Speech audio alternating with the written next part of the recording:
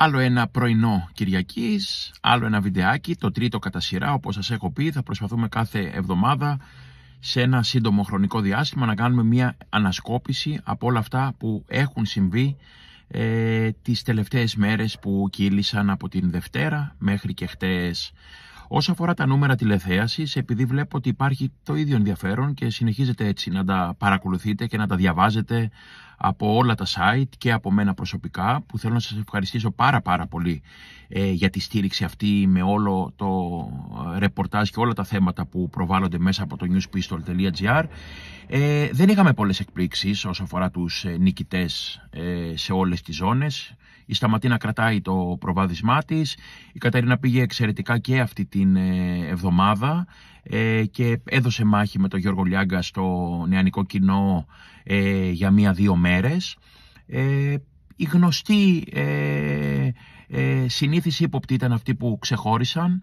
Ε, η Ζήνα Κουτσελίνη στην ζώνη της κράτησε την ε, πρωτιά. Στη μεσημεριανή ζώνη υπάρχουν ιδιαίτερα χαμηλά ποσοστά. Δηλαδή βλέπεις εκτός από τη Ζέτα Μακρυπούλια ότι και η Τατιάνα Στεφανίδου την εβδομάδα που πέρασε ε, και η Κατερίνα Καραβάτου στο Μαϊστάλι Ρόξ και η Λιάννα η Παπαγεωργίου έμειναν χαμηλά στο νεανικό τους κοινό.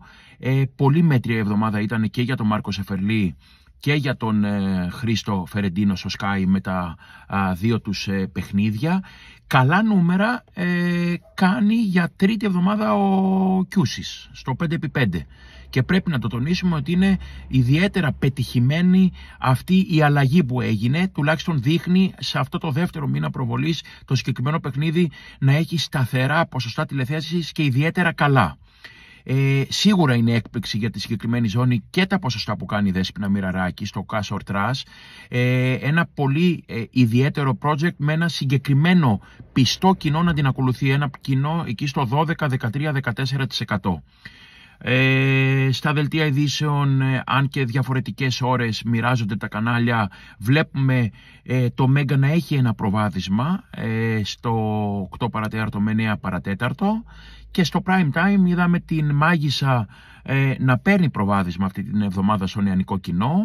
Βλέπουμε τον έρωτα φυγά να κάνει πολύ καλά ποσοστά με πρωτιά στο γενικό σύνολο, δηλαδή να περνάει του ράδιο Αρβίλα ε, οι Αρβίλα όμως παίρνουν το νεανικό κοινό απέναντι από τον Γρηγόρη, από τον, όχι ο του έφυγε, απέναντι από τον Έρωτα Φυγά και από τον Παράδεισο.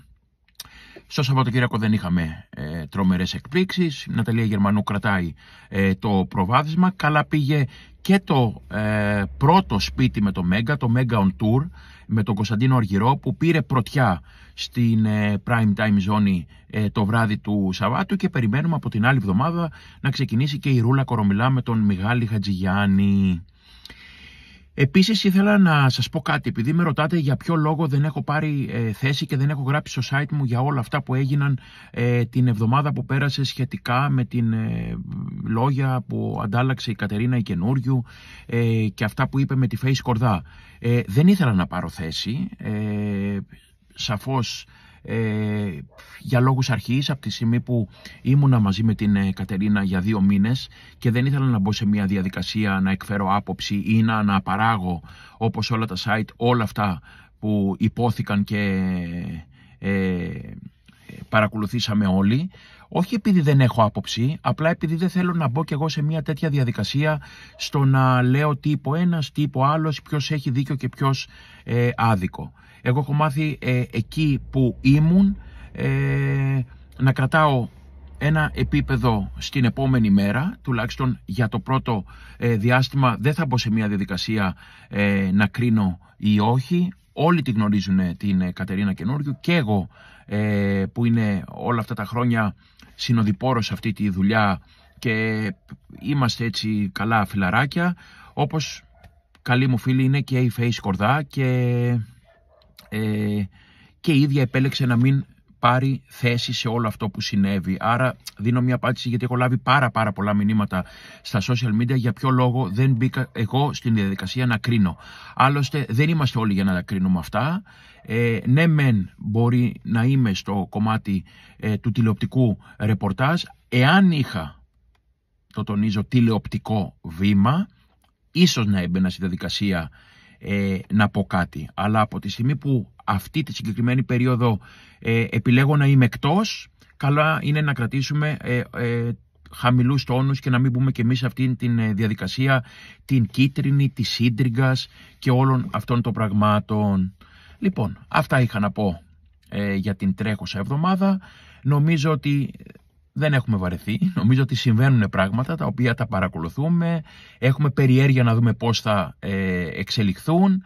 Ε, εγώ προτείνω να υπάρχει ηρεμία, να υπάρχει πολιτισμός ε, και όσο το δυνατόν να κάνουν όλη τη δουλειά τους χωρίς να πειράζουμε, να προσβάλλουμε ή να ε, προσπαθούμε να κεντρήσουμε το ενδιαφέρον του τηλεθεατή με λάθος τρόπο όταν ε, υπάρχουν και άλλοι τρόποι να το δείξουμε μέσα από τη χαλαρή μας παρέα, σε μια τηλεοπτική εκπομπή και από τη θεματολογία μας που είναι το πιο σημαντικό. Λοιπόν, συνεχίζουμε. Καλή τηλεοπτική εβδομάδα να έχουμε. Δόξα τω Θεώ υπάρχουν εκπομπές, υπάρχουν σύριαλ, υπάρχουν τηλεπαιχνίδια, υπάρχουν πολλά δελτία ειδήσεων, άρα υπάρχει πλουραλισμός και ένα μαγικό τηλεκοντρόλ που ο κάθε ένας από εμάς μπορεί να επιλέγει ό,τι θέλει και ό,τι του αρέσει. Καλή εβδομάδα να έχετε φίλοι και φίλες. Θα σας έχω ρεπορτάζ και για το Survivor τις επόμενες μέρες μέσα από το site μου. Είδατε και κάποιες ειδήσεις που πέρασα μέσα στο Σαββατοκύριακο και για το First Dates και για το...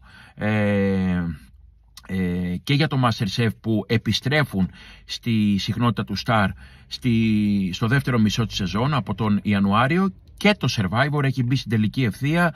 Έχουμε πολλά ε, castings, ε, υπάρχουν πολλοί ε, επώνυμοι που θα μπουν ε, στο νέο κύκλο του Survivor και υπάρχουν και δύο-τρεις παίκτες από το παρελθόν που φαίνεται να επιστρέφουν και προσπαθεί η παραγωγή να τους πείσει.